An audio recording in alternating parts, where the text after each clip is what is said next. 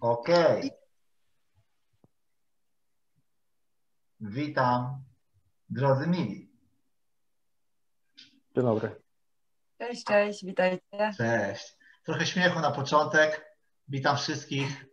Zaczynamy serię live'ów pod tytułem wiadomo, rozwój osobisty, zaś dzisiaj jako piękniejszy umysł gościmy tutaj Elżbietę Krzyżaniak, reprezentantka strony duchowości i jest z nami również jako gość specjalny Artur Kauf, tak więc reprezentant zielonej strefy, stąd tutaj dzisiaj na przekłamaniu jako czerwona strefa, nie odbierajcie tego źle, zaś maska mówi wszystko, łamiemy, łamiemy wszelkie dotychczasowe jakieś usposobienia wobec schematów, wzorców.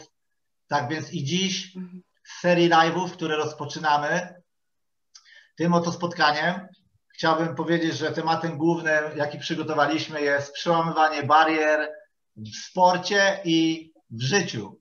Tak więc myślę, że pole do dyskusji jest szerokie. Na dzisiejszy temat przygotowaliśmy wspólnie pięć głównych pytań.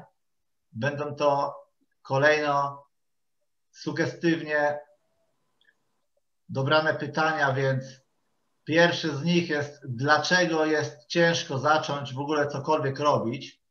Tak więc dwójeczka, jak rozplanować treningi, jeśli chodzi o jakąkolwiek strefę rozwoju, bo jako piękniejszy umysł w powiązaniu z Instytutem Rozwoju prowadzimy rozwój na płaszczyźnie mentalnej, duchowej, finansowej, aktywności fizycznej, inaczej zdrowotnej, jakże i też odżywiania. To więc i kolejne pytanie numer trzy dzisiaj będzie, który rodzaj treningu wybierać? Bieganie, siłownia, basen. Jakże i czwarte, w jaki sposób wypracować regularność? I numer pięć, czy Chodakowska jest ok? to więc będzie, będzie naprawdę ciekawie. Ja teraz zamieniam się w słuch, oddaję przede wszystkim E, tutaj głos Elżbiecie i Arturowi. Dziękuję. No witajcie kochani, w ogóle bardzo dziękuję Arturowi za to, że e, w momencie, kiedy się osobiście spotkaliśmy, to e, kiedy zaprosiłam go na wywiad, to nie było momentu zawahania, bardzo był otwarty swoim serduchem, także bardzo się cieszę, że tak zareagował i że jest z nami. Y, no myślę, że dobrze byłoby powtórzyć to pierwsze pytanie, dlaczego jest tak ciężko zacząć? Jak myślisz, Artur? Cokolwiek zrobić. Dlaczego jest ciężko zacząć? E, dużo osób zaczyna w momencie jakiejś desperacji, mhm. jeżeli czują się naprawdę źle, a takie momenty desperacji przychodzą za często. Aha. Y, można, można to zamienić, to można wypracować. Jeżeli ktoś pracuje nad sobą, no to zacznie w pewnym momencie. To jest kwestia czasu, ale tak, myślę, że jest ogólnie taka za mała świadomość rozwijania, rozwijania siebie. Mm. Więc to nie wiem, czy Ela pamiętasz, ja się Ciebie pytałem, yy, czy zastanawiałaś się może, dlaczego tak mało osób z tych, które przesłuchały płyty, rzeczywiście coś zmieniła w swoim życiu. Pamiętasz, mm. jak Cię o to pytałem? Wiesz co, nie pamiętam, bo było tam dużo pytań. No, nie pamiętam. Pyta, py, pytałem na pewno też Radka i on też się na tym zastanawiał. I wiesz, do jakiego wniosku dochodzę? E, mhm. Że tam spotkałem, spotkałem na tym wydarzeniu, bo byliśmy na takim szkoleniu w weekend, dwudniowym szkoleniu. Spotkałem mhm. parę osób, u, który, u których rzeczywiście fajne rzeczy się zaczęły dziać w życiu i wszystkie te osoby, mhm. one przesłuchały te płyty po kilka razy. Każdy był tam, nie wiem, na czwartym, piątym, szóstym razie a te osoby, które przesłuchały tylko raz, albo nawet nie przesłuchały ani razu, mówiły właśnie, że to nie do końca działa, że coś jest nie tak, coś, coś w ich życiu się jeszcze nie wydarza. Y, nie wiem, także wydaje mi się, odpo odpowiadając na to pytanie, to wydaje mi się, że to jest tak przyziemnie. Yy, trzeba po prostu więcej robić, więcej, hmm. więcej nad sobą pracować, więcej działać. Jestem ciekaw, co ty, Elżbietko, myślisz na ten temat. Ty pewnie tak, yy, pewnie inaczej na to patrzysz. Hmm. Jestem ciekaw, jak. Ja troszeczkę tak, ja rzeczywiście spojrzałam na to z zupełnie e, innego, że tak powiem, wymiaru. Przede wszystkim e, ja kocham, kocham Polskę, kocham Polaków, kocham w ogóle ludzi, ale rzeczywiście jesteśmy narodem, który bardzo narzeka i mamy ciągle wymówki. Jesteśmy bardziej w energii narzekania niż działania. I to narzekanie to po prostu jest coś niebywałego, jak bardzo możemy nas powstrzymać przed tym, żeby zacząć. Po prostu wolimy narzekać, y, wolimy popatrzeć, jak ktoś ładnie ćwiczy i pomyśleć sobie, że to nie dla mnie. To też wynika właśnie z bardzo niskiej samooceny, ale jak już nas, tak jak powiedziałeś, y, doprowadzić do takiej ściany, że już gotuje się i sami nie możemy siebie znieść, no to, to wtedy się za coś bierzemy, a to wtedy też przesadzamy, bo wtedy to już bierzemy się za wszystko i wiadomo jak to jest, jak zaczynamy brać się za wszystko i mamy tego bardzo dużo, to ten e, zapał bardzo szybciutko też gaśnie. Więc tutaj trzeba to zrobić rozsądnie. Mm, co ja bym, co ja bym powiedziała, dlaczego warto zacząć? I co zrobić, żeby zrobić ten pierwszy krok? Ja w moim odczuciu po prostu w chwili, kiedy złapiemy się na tym, że mamy kolejną wymówkę, wymyślamy około miliardy rzeczy, żeby jednak tego nie zrobić, to po prostu zatrzymać się i powiedzieć sobie, to już przerabiałam, to już przerabiałem. Wiem, dokąd mnie prowadzi to poddawanie się. Wiem, jak się czuję, kiedy za każdym razem się poddaję. Wiem, jak, wiem co o sobie myślę, kiedy, yy, kiedy się poddaję. I w taki sposób, jak zaczniemy się sobie przyglądać, to wtedy możemy wykrować taką drugą drogę że zaryzykuję i zobaczę, co się stanie ten jeden raz, ten jeden, jedyny raz, jak jednak pójdę do takiego przystojnego trenera, jakim jesteś ty. Zobaczę, co się stanie, jak ja będę się czuć, co się we mnie pojawi.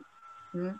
I ten moment jest momentem przełomowym. W ogóle ty masz świetną pracę, bo czym innym jest pójście na aerobik, czy na basen, czy na aquaerobik, czy na jakąkolwiek inną grupową grupowy trening, a czym innym jest praca z indywidualnym trenerem. Ja też kiedyś ludzi prowadziłam, prowadziłam ludzi na siłowni i tak dalej, to to już wiadomo, to jest zupełnie inne podejście, to jest jak gdyby y, trening szyty na miarę danej osoby. Także ja bym był, y, no, no ja mam tak, że zawsze chcę dać te narzędzia, po prostu jeżeli już wielokrotnie się poddałaś, poddałeś, to, to pamiętaj, przywołaj tą emocję, jak ty się czujesz, kiedy się poddajesz, co o sobie myślisz i zastanów się, czy chcesz tak dalej żyć. I wykreuj sobie nawet to wspomnienie z przyszłości. Zobacz siebie, że byłeś na tym treningu, fizycznie nie byłeś, ale wykreuj sobie. Wyzwól tą emocję, jak ty się czujesz, kiedy myślisz, że już jesteś po tym treningu, co czujesz, co myślisz o sobie i idź za tym, co daje ci takiego kopa, idź za tym, co daje ci satysfakcję, idź za tym, co daje ci siły witalne. I zrób ten trening i zobacz, co się dzieje, kiedy jesteś po tym treningu, jakie masz nastawienie do życia, jakie masz nastawienie do siebie, czym dzielisz się z innymi, kiedy to zrobić. Ja bym tak odpowiedziała na to pytanie. A jeszcze jedną rzecz tylko dopowiem, bo mi przyszło do głowy teraz. No. Zobaczcie, znaczy zacząłem tak obserwować trochę więcej, zastanawiać się nad tym, co się teraz dzieje. I mamy mhm. teraz taki doskonały przykład za tym, że ludzie bardzo zaczynają naśladować innych, inne osoby. Przykład mhm. z, tymi, z tym zakrywaniem twarzy. Z początku mało osób to robiło, ale im więcej osób to robiło, tym kolejne się chętniej dołączały, bo była większa na to presja. Tak samo z mhm. tymi strajkami. Jedna koleżanka poszła, druga, trzecia, no to ja też idę. I ja sobie pomyślałem, że ta, tak po prostu jest. Tak działa ludzka psychika. Robimy to, co robią inni ludzie, bo to jest pewne uproszczenie, żeby samemu nie trzeba podejmować mm. wszystkich decyzji. Ale to mm. można odwrócić na swoją korzyść. To mm. znaczy, jeżeli masz problem, żeby zacząć, zacznij się zadawać z odpowiednimi ludźmi. Pięknie. To, to, widzę, to, to się teraz dzieje na tej zielonej strefie, którą założyłem. Ja założyłem z początkiem, z początku tego lockdownu, jakby ktoś nie wiedział, założyłem taką grupę na Facebooku, bo powiedziałem, że nie będzie tak, że nie będziemy teraz ćwiczyć, wszystko zamknięte, nie ma takiej opcji. Będziemy ćwiczyć, będziemy się dobrze bawić. I założyłem grupę na Facebooku, gdzie zamysł był taki, żeby po prostu wzajemnie się motywować, tak? Żeby właśnie wrzucać, kto tam co przebiegł, kto co zrobił. Ja trochę dawałem na początku więcej od siebie, ale po dosłownie paru dniach, teraz jest chyba tylko minął tydzień, Powstaje tam już kilka postów dziennie i to nie ode mnie, to już od osób prosto z grupy. E, tak, e, ktoś rzucił bieganko, o, no to ten też rzucił. O, dobra, to ja się też dołączę, tutaj jeszcze podrzucam swoje kilometry. Teraz akurat zbieramy te kilometry i robimy tam jakąś trasę no. sobie po Europie wirtualnie. ale to działa jak magia, tak? Także tak. można od, od ludzi, którzy nas otaczają, brać te złe wzorce, jak będą tam jakieś malkontenci, nie chce mi się, jestem zmęczony, no to bardzo ciężko będzie samemu zacząć. Także mhm. uważajcie, z kim się zadajecie i otaczajcie się takimi ludźmi, którzy coś robią, to wtedy, bo to, co ty powiedziałaś, jest świetne, jest, jest bardzo świetne, ale y, niektóre osoby nie mają takiego wglądu w siebie. One, one tak. tego nie będą czuły. I wystarczy, że one zaczną na zasadzie obserwacji innych osób. No, tylko, że mówię, mogą tak. wziąć albo te negatywne rzeczy od nich, ale mogą wziąć też pozytywne, jak znajdą mhm. dobre osoby wokół siebie. Tak, to jest, to jest świetny przykład. To też działa po prostu, tłum tak działa, ta zbiorowa świadomość. I teraz w zależności od tego, do której zbiorowej świadomości się przykleimy, tak mamy. Jeżeli ja widzę to przecież chociażby po swoim koncie na Facebooku, mnie otaczają sami duchowi ludzie, sami ludzie, którzy są zainteresowani tym, żeby, żeby iść w kierunku miłości, tym, żeby iść w kierunku tego ducha, żeby, żeby rozwijać to, to czucie, bo to nam daje też, że tak naprawdę wiemy, kiedy my się poznajemy, to my wiemy, czego chcemy. I też zobacz, to, to, że różni nas wiek. Ja kiedyś, gdybym się z Tobą spotkała, albo gdybym miała tyle lat, co Ty, to pewnie byśmy więcej pogadali sobie o takich wydolnościowych treningach, bo wtedy to ja w tym przodowałam, ale teraz, mój drogi, to tak nie jest. To jest po prostu tak, że ja y, jestem zadowolona z tego, jak wyglądam, więc może też to jest powodem tego, że ja nie muszę sobie jakieś poprzeczki podnosić.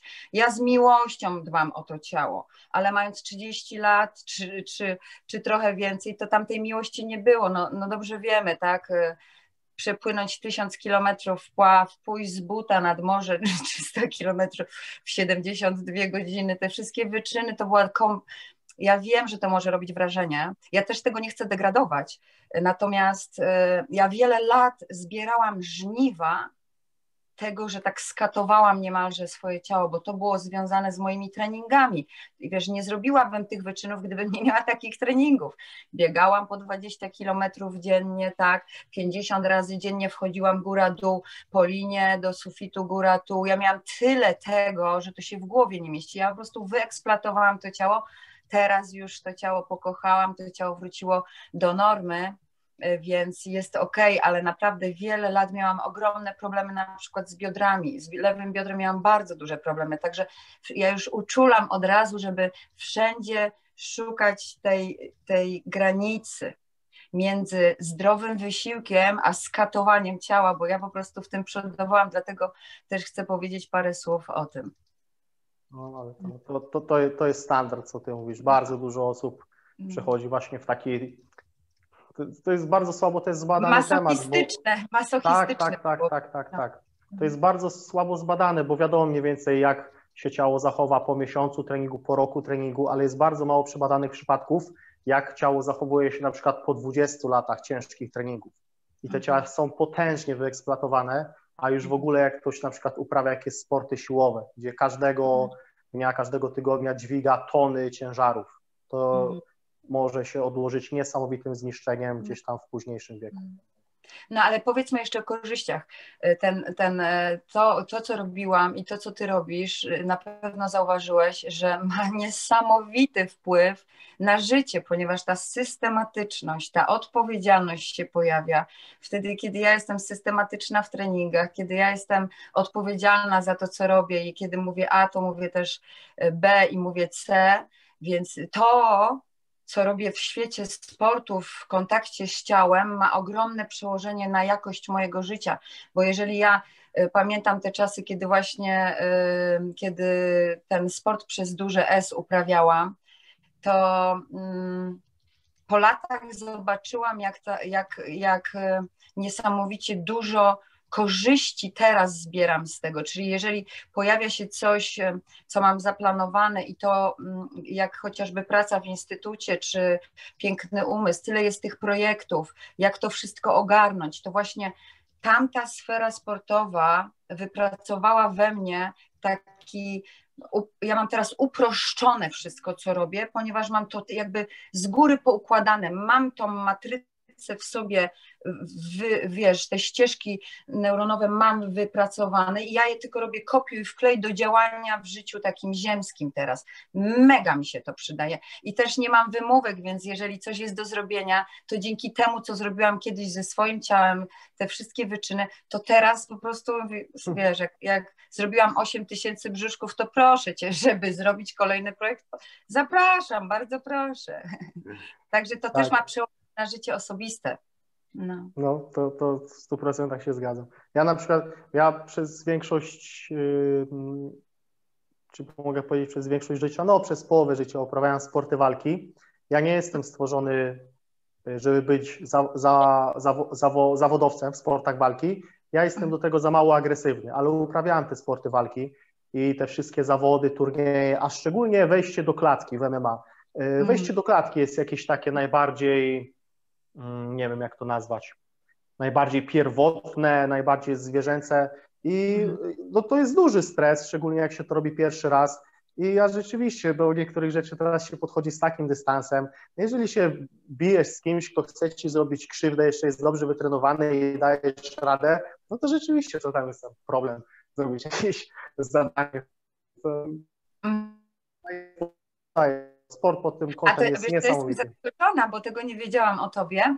A wiesz, że ja kiedyś trenowałam chłopaków z MMA w Poznaniu? Ale w jakim klubie? Wiesz co, nie pamiętam tego. Tam był Paweł, Edwin, ale bardziej po imionach mi to zostało, wiem. Tak, Edwina, Może Pawła. Taki, blond, taki blondyn? Tak, tak, jego była załatwiłam. Y, tam to był... Ja trenowałem u Edwina, Edwin Raczyński chyba nie, o nim mówisz. Nie gadaj, no. Taki, Edwin, nie pamiętam jak się nazywam, bardzo charakterystyczny a, typ urody. Ile lat temu to było? O Boże, proszę cię, no nie wiem, naprawdę nie wiem, ale... A on wtedy, on wtedy A, był poczekaj, 34 no? lata musiałam mieć wtedy, bo to było bezpośrednio po tym, jak się przeprowadziłam po tej mojej tam... Wtedy pewnie, to wtedy pewnie jeszcze był taki... 16 ten, lat temu. No? No. No, no małolatem wtedy jeszcze był, to pewnie No, dzieciak, no. dzieciak, dzieciak. Ja ich rozciągałam, psychę im przygotowywałam, trening, jeździłam do nich, jeździłam z nimi na zawody, y, wiesz, przed wyjściem do klatki ich przygotowywałam psychicznie, przygoda taka, że ho, ho. No, no, fajna przygoda, fajna przygoda. No. no dobra, co tam mamy jeszcze? Fredziu, jakie drugie pytanko?